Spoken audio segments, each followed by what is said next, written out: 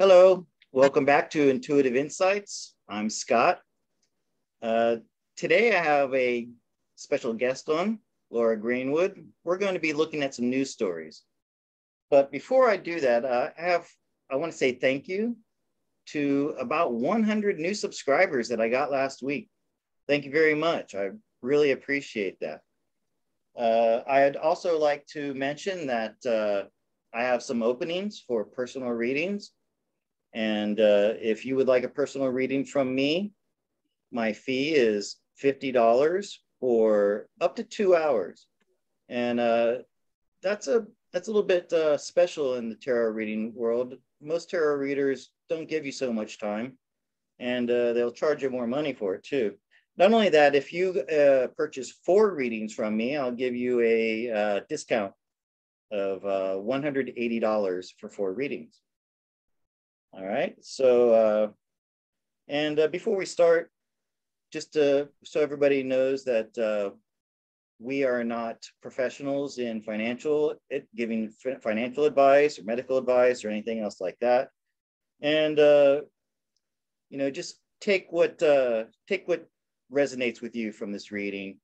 Uh, this is really just entertainment, right? Okay, so uh, Laura, would you like to introduce yourself? Hi, Scott. Well, you already did. I'm Laura, and I'm uh, joining Scott. He's in Thailand. I'm in Alaska. And uh, um, I was very gratified. I, he mentioned me a couple times when he's done some recent readings, and I think he thought people might like to see who was sending him these suggestions because I'm a huge fan of current events. And I know that in today's complicated world, sometimes we have to go to unconventional sources trying to find truth and news. And as Scott said, uh, while we're doing this for your entertainment, um, use your discernment, use your own intuition, and see if any of the topics or things that we come across in our reading and the information that's shared with us from the universe resonates with you. And uh, we hope you enjoy. All right. Thanks a lot, Laura. So uh, what's going on in the news, Laura? You know, I, I uh, really avoid the news. I don't know what's going on. So uh, what have you got for us today? Well, let's see. And bear with me, everybody, because I am not a natural techie. so I'm gonna, first off, I thought, Scott, you know, one of the first things I recommended to you was to uh, uh, report on Cirsten W, and you did. Mm-hmm. And mm-hmm um, and I, I noticed today when I was looking at some of the uh, off mainstream websites that uh, Scott, um, let's see, this guy who is Patriot S, I don't think we can say his whole name, said that they're uh, people, that people will recognize him. Okay, is likely still with us. And I thought you'd like to know that over a week after you did the tarot card reading and got that in your reading, it seems to be being discussed from more typical sources. So kudos to you and kudos to the universe for sharing some information with us on that. That's really cool. Thanks, yeah. Laura. Sure. All right. Then uh, next up, and uh, Scott, you had no idea I was going to be mentioning this. So I, I, want, I heard today and I confirmed it. Let me get to where I can share the screen with you. Okay, yeah. this is fun. There is a listing on Zillow. It's not active for the White House. Uh-huh. 16 bedrooms, 35 bathrooms at 1600 Pennsylvania Avenue, Northwest Washington, DC, 20500. Okay, well, I know that other people who try to do tarot readings um, have touched on the White House. Uh, but I had a specific question because of this listing. I was hoping that you could do a tarot read and a couple of things. I'm interested in knowing, could is the universe willing to tell us currently, is anybody residing in the residential part of the White House? And secondly, because we know that the US corporation has gone bankrupt. Was this listing created because all assets of the corporation had to have a value? Okay. Those are my questions about the White House. All right. so first question, is anybody residing in the, uh, how did you put it? The The residential area? The residential portions of the White House. Okay, good question. Yeah, I had no idea you were gonna come up with this, so great. Okay.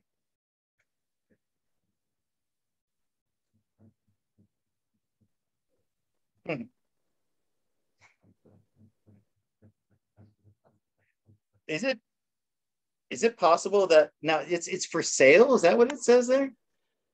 Well, Zillow is a real estate, you know, site. Um, when I first heard about this, someone said at one point it looked like an active listing months ago, but now it doesn't.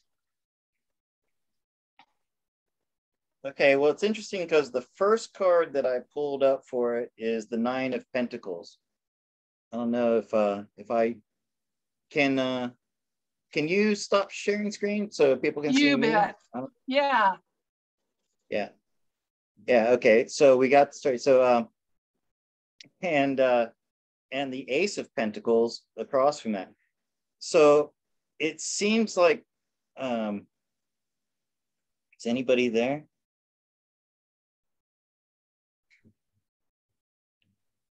So the the nine of pentacles is sovereignty. So it- it's like it stands alone. So I'm I'm thinking, and with the Ace of Pentacles,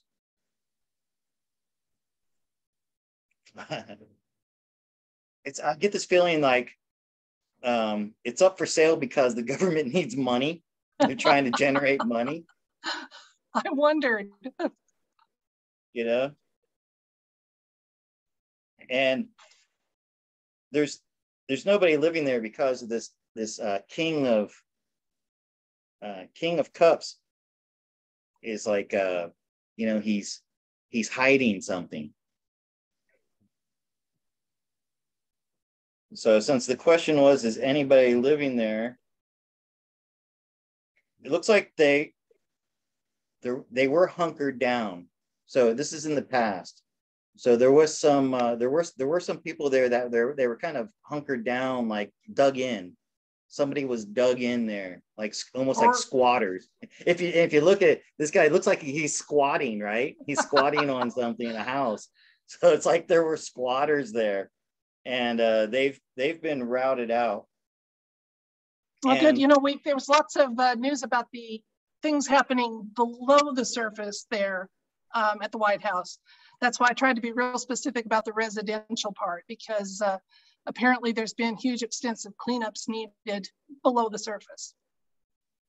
Yeah, so it looks like there there was somebody like whoever is the person that was portraying themselves as Joe Biden was dug in there and didn't want to come out.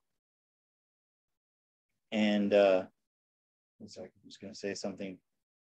Oh, um so you remember was it was it Mr. T who said it was the people's house? Wasn't that uh, like a saying that was going around? So it's like the White House is being given back to the people. Good. There, there was a there was a struggle.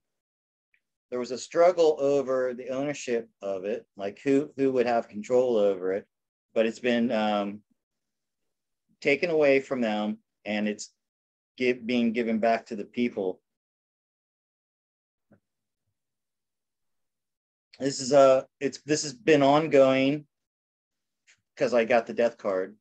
So this transition of uh, of getting the people from the deep state and back to the people, it's been an ongoing struggle. But uh, you're you're not going to hear this in the mainstream. This is hearsay. But uh, to answer the question, are people living there? Up until recently, there were, but now no. Okay. Okay.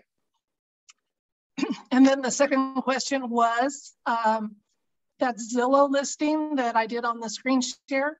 Did that have anything to do with uh, valuing assets with the defunct and bankrupt US corporation? Oh, that's right.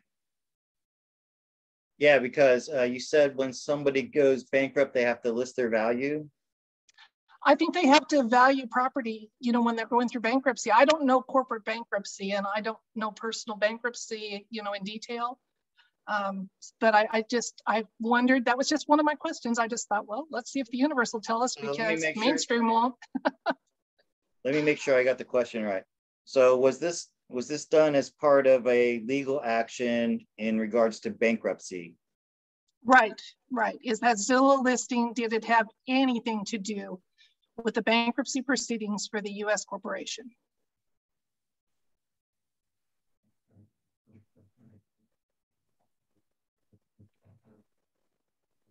definitely uh, legal matters in the past. This King of Swords is in the past, so it was had something to do with uh, legal matters.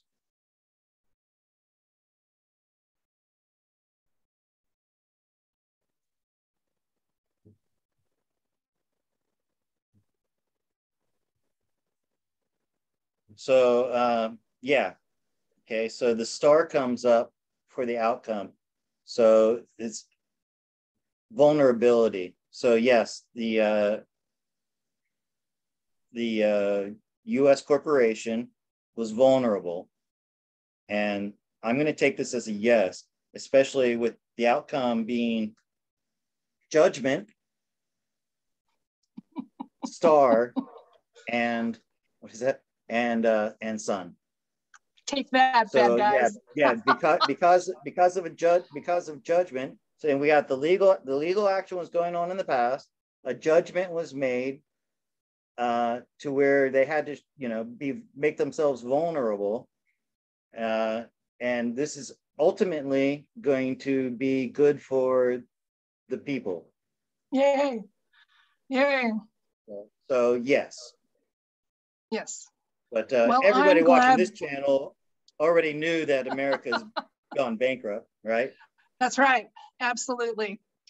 By the way, this might be a good time to mention um, there are some tarot readers that you and I both know and love, even if we don't know them personally, who do touch on truth or matters. And we will make every effort not to step on any toes and duplicate readings. But by the same token, neither Scott or I um, watches every pay-per-view option that's out there on tarot readings. So there may be times we talk about something that's been discussed by someone else and it's uh, it is not meant to be a reflection of distrust on what they get in their readings or anything else. It's just a, uh, an accidental duplication. And it's kind of interesting because the answers from the universe can vary so much from moment to moment and depending on how you phrase the question and if you set your ego aside to let the cards do the speaking. So it's really interesting. And I hope if there are ever any duplications with the things we talk about, that people will realize it's it's not meant, it's just accidental and uh, serendipity. That's right. Well said. Thank you. Oh, sure.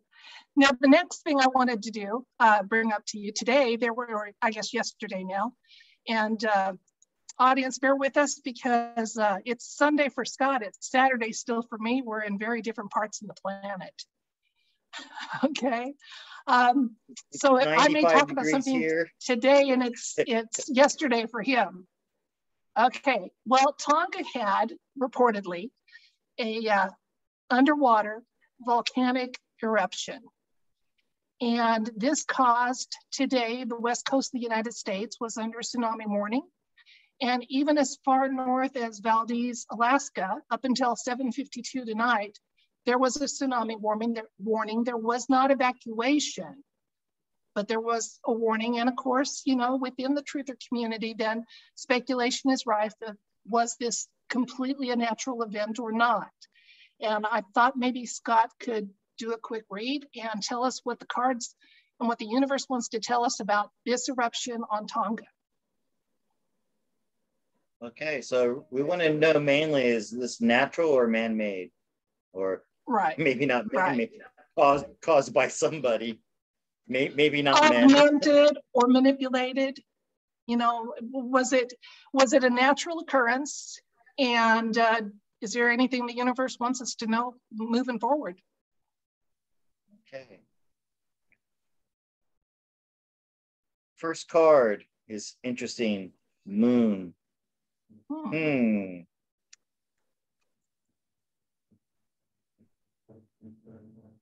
Now go into a little explanation for your audience and explain why we both went hmm with that, okay? Yeah, because uh, moons are mysterious. They're uh, when the moon comes up right away for something, it's like you don't don't believe the the main story.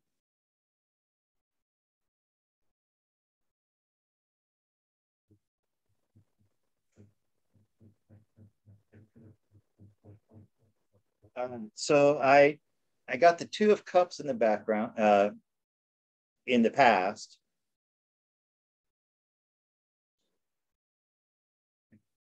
So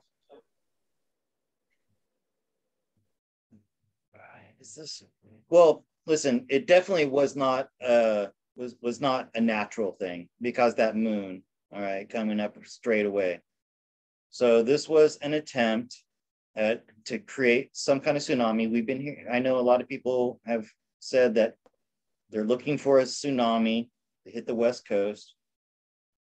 They tried to do it with uh, La Palma. I did Uh-huh, a reading the on that. East Coast. I definitely, I definitely got that there was some manipulation at La Palma, but uh, it was being held together.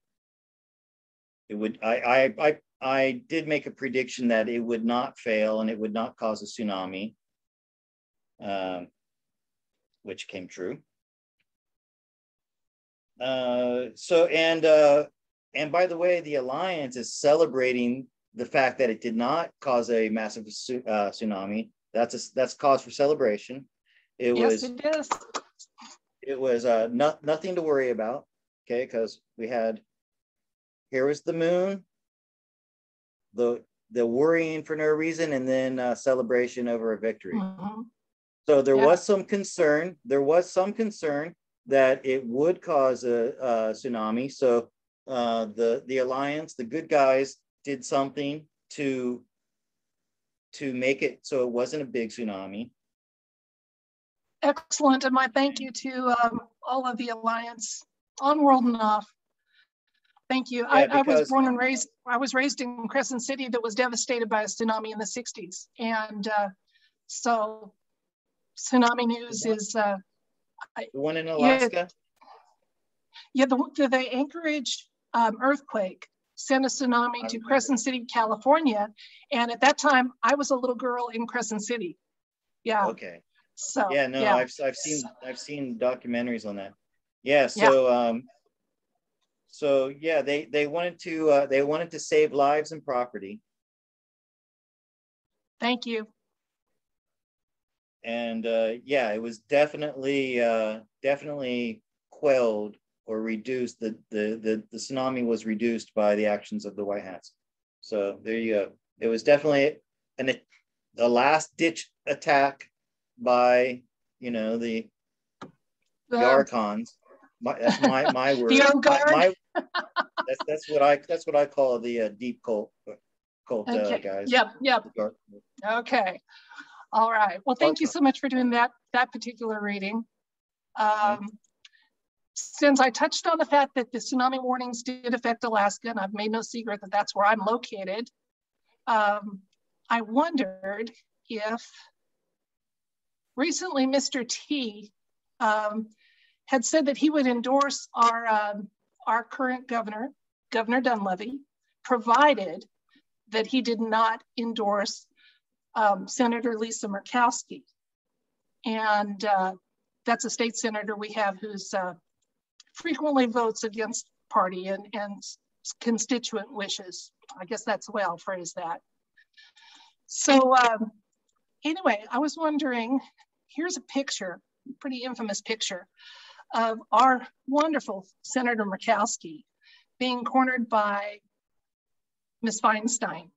Feinstein? I'm sorry if I said that wrong. I apologize, even though I, her politics aren't mine. I think it's Feinstein. Yeah, okay. Anyway, what does the universe want to tell us about uh, our Senator Murkowski? Is she uh, going to seek reelection? Is she going to fade from view? Is she going to face uh, some uh, consequences for actions that shouldn't have been taken to start with? What would the universe want to let us know about my Senator Murkowski from Alaska? Okay, and just for the record, I don't know anything about these these people or politics, so uh, I'm coming. He had no idea I was bringing this up. None at all. Open mind. yeah, this is pretty. I mean, it's you know, Alaska isn't a big state. Um, it is geographically, obviously, but uh, no, Scott had no idea I was going to ask about this. He just, he's just made it clear because um, I have been a customer and a very happy customer if he his in the past, that he doesn't like to read things twice. So that was another reason to do this together so I could ask these questions and we could share those answers with you. Okay, great. Uh, just uh, before I draw cards one more time, tell me her her name and what you want to know. Lisa Murkowski. She's a senator from Alaska. Um, what does the universe want to tell us about her political future? Um, I don't want to get into private things for her, you know, private life. Uh, that wouldn't be fair, but she is a public servant. So, uh, and sure. she hasn't served her constituents too well. What would the universe like to let us know about Lisa Murkowski? And then, it, am I still sharing the screen? Hopefully not. No, no, okay, no, you're not.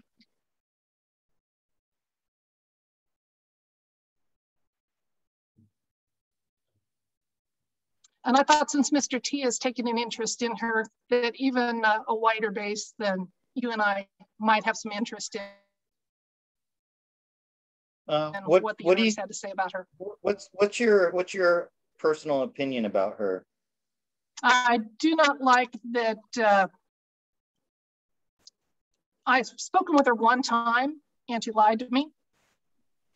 Uh, repeatedly, from a traditionally conservative state, she has not served the majority of her constituents' wishes to vote conservative and vote within her party. And I believe because she was uh, elected in one of the first mail-in um, write-in campaigns that was very fishy. Um, I think there's a lot that could be said about her career. I just wonder what the universe might want to share with us. Okay, so she's feeling very vulnerable right now. Good. Uh, because be, because because of her dishonesty, frankly.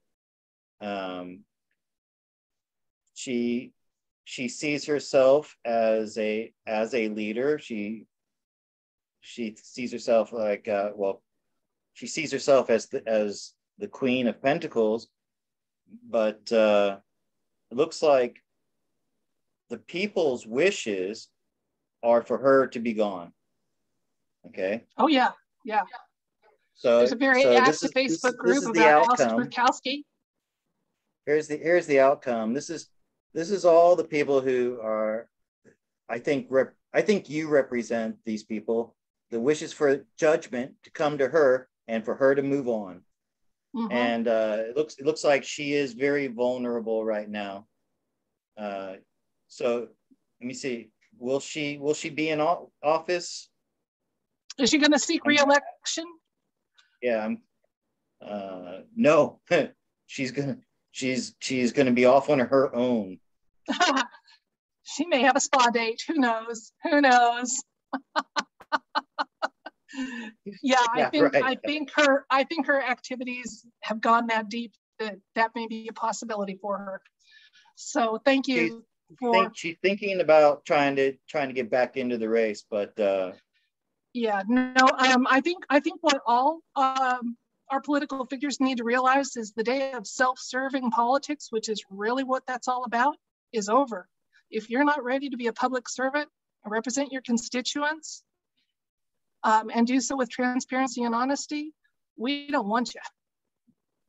She may she may try to run run again, but I don't think she'll uh, be reelected.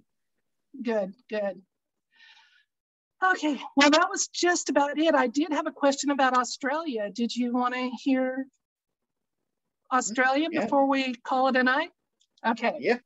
Well, I saw that This, there this is a fun. movement. I, I'm really, I, I'm really enjoying this.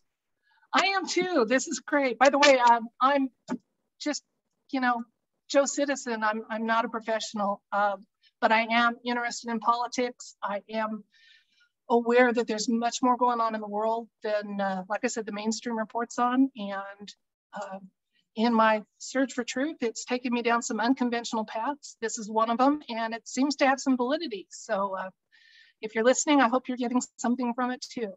Well, today I saw that there is Don't- a don't- move. Laura, Laura, don't don't sell don't sell yourself short. You're also an intuitive, uh, and you're you're a tarot card reader as well. So uh, I'm trying. I'm trying. don't, Okay. don't sell yourself Well, I saw today that common there there is a push in Australia, and I know that there's been a similar one in the United States to uh, um, return to governance through common law. In fact, there's a site about that.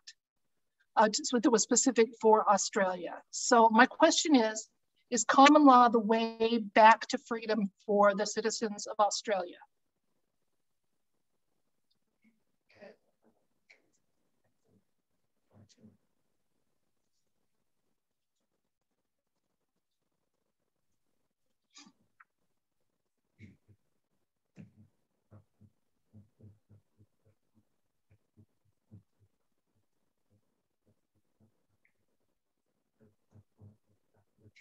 Yes.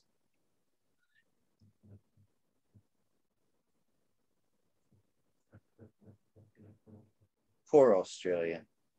Those people have They have and, suffered and I'm so saying much. and, I, and I'm saying that because I got this in the past. These people have just been overrun. It's like the the ocean, the same way that the sea threatens to wash away the Queen of Cups, and uh, she's she's uh, you know wrapped up in her depression. That's that's a good card to represent the Australians right now. But very soon things are going to be turning around. Justice is coming. Yay!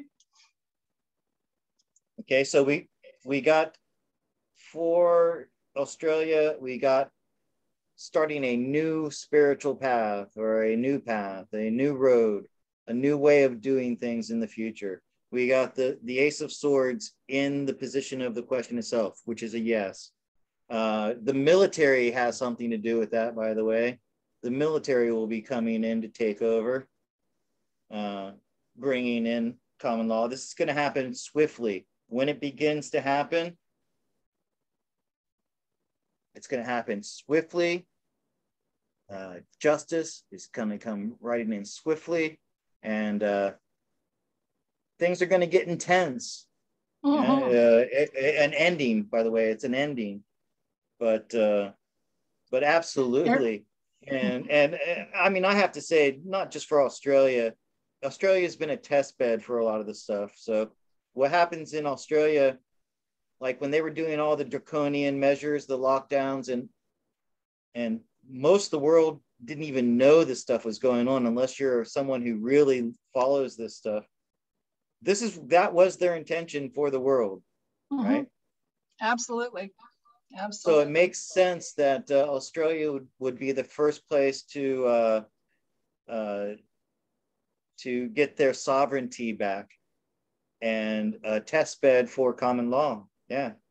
Yeah. So absolutely. Yeah. Okay, well, those were the topics I wanted to raise tonight. Um, I would like to just piggyback on what Scott said. Um, he is new to the career of tarot reading. And so you're fortunate that this is a time when you can get personal readings from him. Um, and I would suggest that you give that some thought. They're fun, they're entertaining, they're uplifting, they're heartening. It's well worth your money to give it a try. I even had him read my pets, and he not only read from her ego, but from her higher self, and it was it was lovely. It was fun. So uh, if you're listening and you have uh, got that in your budget, please give him some of your business and let's support a, a budding new to the career tarot reader here.